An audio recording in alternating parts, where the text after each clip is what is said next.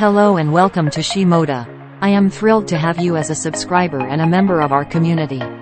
Shemoda is a platform where we share the latest fashion trends and shoes styling tips.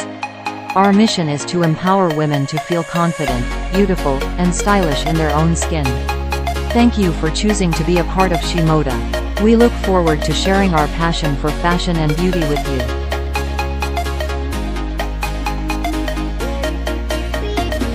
High heels boots are typically made from leather or suede, but can also be found in synthetic materials.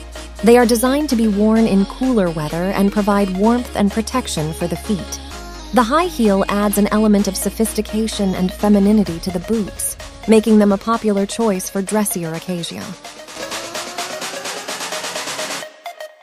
When wearing high heels ankle boots, it is important to choose the right outfit to complement the boots. They pair well with skinny jeans or leggings, as well as with skirts and dresses.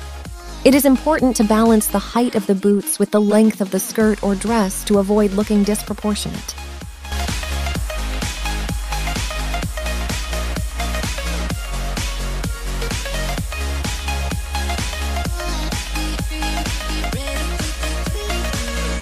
In terms of color, black and brown are the most popular choices for high heels boots.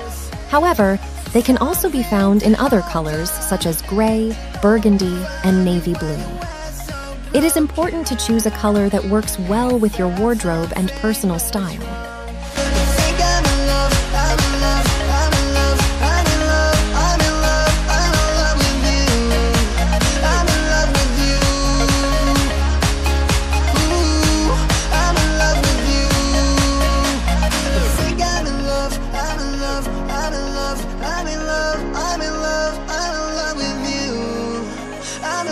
Overall, high heels boots are a fashionable and versatile choice for women's footwear.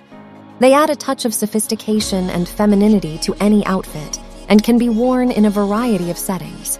With proper care, they can last for many years and provide a stylish addition to any wardrobe.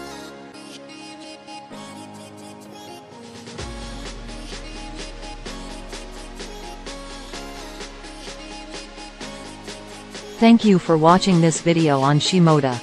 I hope you enjoyed our latest collection and found some inspiration for your own personal style. Don't forget to subscribe to our channel and hit the notification bell to stay updated on our latest videos. And if you have any suggestions or requests for future content, please let us know in the comments below. As always, thank you for supporting Shemoda and being a part of our community.